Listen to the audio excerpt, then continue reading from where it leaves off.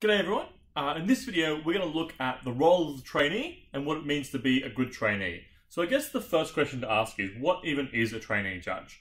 A trainee judge is a very common thing you'll see, particularly at Easters, but also at lots of other tournaments as well. And it basically just means someone who is pretty new to judging, who doesn't quite, you know, know what's going on yet, or isn't quite, or isn't a particularly strong judge yet. And the emphasis is on the word yet, because everyone starts out as a trainee, and it is through practice and experience that we get better.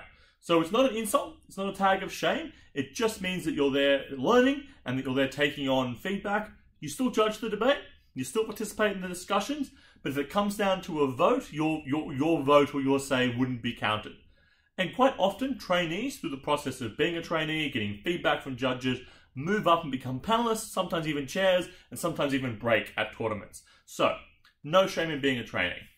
But what is your role as a trainee in that panel discussion then when you can't actually vote? I think the first role you have is to learn.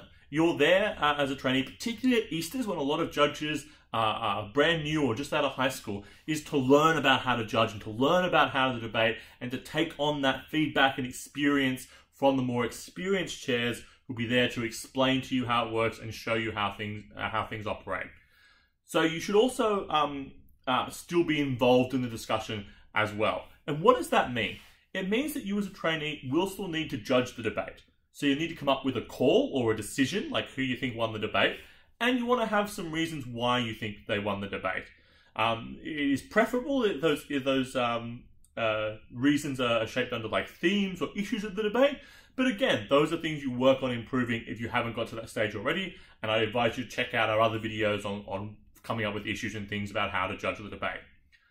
It also means that like you've got to be open when you don't quite have a result. So you won't have a whole lot of time after the debate to come to a decision. Uh, adjudicating debate should be a process that happens like an ongoing thing throughout the debate. But sometimes you get to the end, you'll have three or four minutes to think about the result, and you, you just won't know the answer. And that's okay. It is okay to say, uh, I, am sorry, Chair, uh, I don't have a clear result. I think negative is winning the debate um, but I'm just not sure about this thing here, or this argument, or this rebuttal, or what to think about this issue. And that's okay. Because at least then you're identifying where you think there's a point of clash or confusion in the debate, and that's still important to identify. So try and have a call and try and have reasons if you can, but be honest and okay if you don't have that, so that way the chair can best sort of lead the discussion and help you find an answer to that question.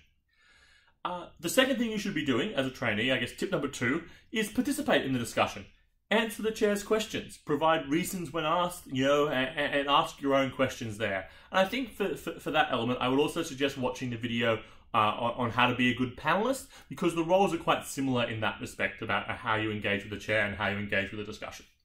Uh, a bit of self promotion there. Watch number, watch the other video. Uh, tip number three, and this I think is a really important thing for, for, for new judges and old judges too, because sometimes we always get it wrong uh, is to when you're saying a team won an issue or won a debate or you found something compelling, don't just defer to things like, well, I, well, I bought this argument because arguments are unfortunately uh, not for sale. Uh, you have to give reasons why things are true. So you should be always thinking to yourself, all right, I, I think negative wins this issue.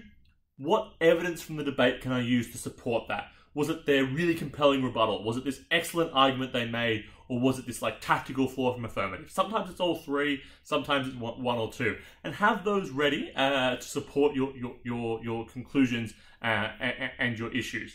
And the same way you do with the debate, whenever you're giving a speech, you have a couple of reasons to support the claim that you are making. The same thing is true um, of adjudication, but your reasons and evidence has to come from what the speaker said, not from your own personal beliefs or things you've made up or things you think they said, but things they've actually said. And that's why note taking is particularly important, so you can refer back to those reasons. So if the judge asks you why you believe this, try and have some reasons ready. The fourth tip I'd say is ask lots of questions. The, the purpose is to learn and to try and become a better judge. So ask questions about the debate. Ask questions about how the judge takes their notes and whether that could be something useful for you. Ask them questions about judging more generally, about tips they have for improvement. Chairs should be there to help you develop as well, uh, as much as they're there to help the teams develop. So please do ask those questions and try and get information uh, from those chairs about how they think you can improve. And, and, and tip number five is just enjoy the experience. Um, I think it's it's excellent to be able to go to a debating tournament and judge judge debates and see these you know these intellectual arguments getting thrown around. So make sure you're having fun while you're doing it as well, and really soak in all, all that experience. And importantly, let the Adj Core know if that didn't happen. So if that didn't happen because a chair has been rude to you, or ignored you, or, or, or been mean to you, you know, write that in feedback. Let the Adj Core know because that is an example of, of quite bad chairing. So, the end of this video, the role and purpose of a trainee is to learn, but to also actively participate in the discussions, even if they can't have a vote, because that will help you actually learn. So, make sure you participate, you answer questions, you have reasons to support your adjudication and your decisions, you ask lots of questions, and you have fun.